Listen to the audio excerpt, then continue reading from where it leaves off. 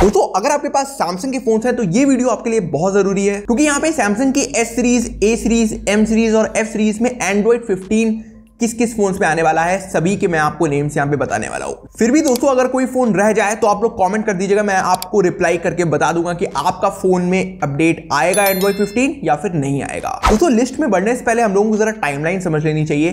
देखिए one you की जो ऑफिशियल टाइमलाइन रहती थी हर साल वो अक्टूबर के टाइम में रहती थी मोस्टली नवंबर में अपडेट आ जाता था।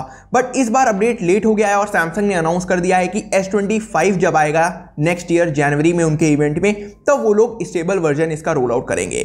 उसी के साथ एंड्रॉयड 15 भी यहाँ पे आपको देखने को मिलेगा। और सैमसंग यूज़र्स के लिए एक और इंपॉर्टेंट इन्फॉर्मेशन है। देखिए सैमसंग ने तीन साल पहले एक पॉलिसी अनाउंस करी थी, उसमें जो भी फ़ोन आए थे उस टाइम पे, उसमें कहा था कि सैमसंग सभी में चार साल के ओएस अपडेट्स देगा। मतलब काफ़ी ज़्यादा बढ़ा दी थी अपनी एंड्रॉयड पॉलिसी को। तो उसका असर अब देखने को मिलने लगा है क्योंकि अब काफ़ी सारे फोन्स लिस्ट से बाहर होते जा रहे हैं और काफ़ी सारे फोन्स जो उस टाइम पे नहीं थे, वो भी अब लिस्ट में आ गए हैं।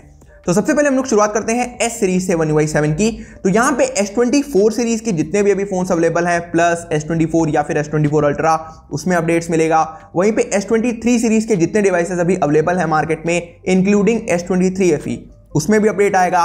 वहीं पे S22 सीरीज़ में भी टोटल कंप्लीट तीनों फोन्स में आपको अपडेट मिलेंगे। साथ ही में एट द एंड आपको S21 सीरीज़ में भी अपडेट आएगा। यहाँ पे थोड़ा सा ट्विस्ट है S21 सीरीज़ में क्योंकि S21, S21 प्लस और S21 अल्ट्रा इन तीनों फोन्स का ये लास्ट अपडेट होगा एंड्रॉइड 15 लेकिन S21 FE अगर आपके पास एक्जिनॉस वर्जन है 2022 में आपने लिया होगा तो ये इसका लास्ट एंड्रॉइड अपडेट होने वाला है। लेकिन अगर आपके पास स्नैपड्रैगन वर्जन है इवन आपने 2024 में भी ये फ़ोन खरीदा है तो अभी इसमें दो साल के आपको अपडेट्स मिलेंगे मतलब एंड्रॉइड 16 भी आने की पूरी पूरी संभावनाएँ हैं। अब जरा ए सीरीज़ की तरफ़ बढ़ते हैं। यहाँ पे ए सेवेंटी में अपडेट आएगा A fifty five A fifty four A fifty three वहीं पे A thirty five A thirty four A thirty three Samsung A twenty five A twenty three A fifteen A fourteen और A zero six अगर मैंने जल्दी बोल दिया हो तो वीडियो को पॉज करके आप अपना फ़ोन सर्च कर सकते हो इस लिस्ट में।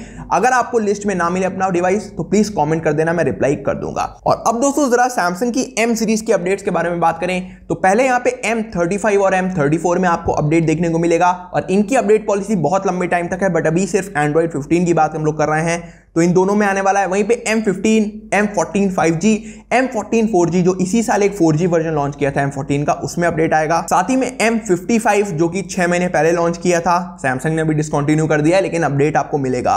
साथ ही में सैमसंग का M05 की अगर बात करें तो इस वाले डिवाइस में भी अपडेट आएगा क्योंकि ये अभी लेटेस्ट लॉन्च है। दो साल की अपडेट पॉलिसी ये फॉलो करता है। और अब आ जाते हैं जरा एफ़ सीरीज़ के ऊपर। तो यहाँ पे दोस्तों सैमसंग का एफ़ थर्टी छह महीने पहले लॉन्च हुआ था। एफ़ लास्ट ईयर लॉन्च हुआ था उसमें अपडेट आएगा। सैमसंग का एफ़ फिफ्टी फाइव भी इसी साल लॉन्च हुआ है। इसमें भी एंड्रॉयड फिफ्टीन आएगा। एफ़ फिफ्टी फोर भी अभी एलिजिबल है और सैमसंग का एफ़ ज़ीरो फाइव जो कि अभी लास्ट मंथ ही लॉन्च हुआ है इसमें भी अपडेट आपको देखने को मिलेगा। वहीं पे मैं आपको बीटा वर्जन के बारे में भी बता देता हूँ तो सैमसंग अपना beta version update roll out कर देता है थोड़ी देर, थोड़ा पहले स्टेबल वर्जन से। तो वो आपको अक्टूबर के लास्ट वीक में S24 सीरीज़ में, अगर हम लोग ऐसे बात करें तो S24 के एक डिवाइस में एंड्रॉइड 15 को देखा गया है रिपोर्ट्स आई थी। बट ऑफिशियल बीटा वर्जन की बात करें तो वो अभी तक रोल आउट नहीं हुआ है। अक्टूबर के लास्ट वीक या फिर नवंबर के फ़र्स्ट वीक में वो भी रिलीज़ कर दिया जाएगा। आई होप आपको ये वीडियो पसंद आई होगी। बाकी इस वीडियो को प्लीज़ शेयर ज़रूर कर देना, क्योंकि सैमसंग यूज़र्स के लिए ये वीडियो बहुत इंपॉर्टेंट है। और अगर आपको अपना फ़ोन ना मिले लिस्ट में तो कॉमेंट कर देना, मैं रिप्लाई कर दूँगा। चलिए दोस्तों, अब लोग तब तक के लिए नमस्कार।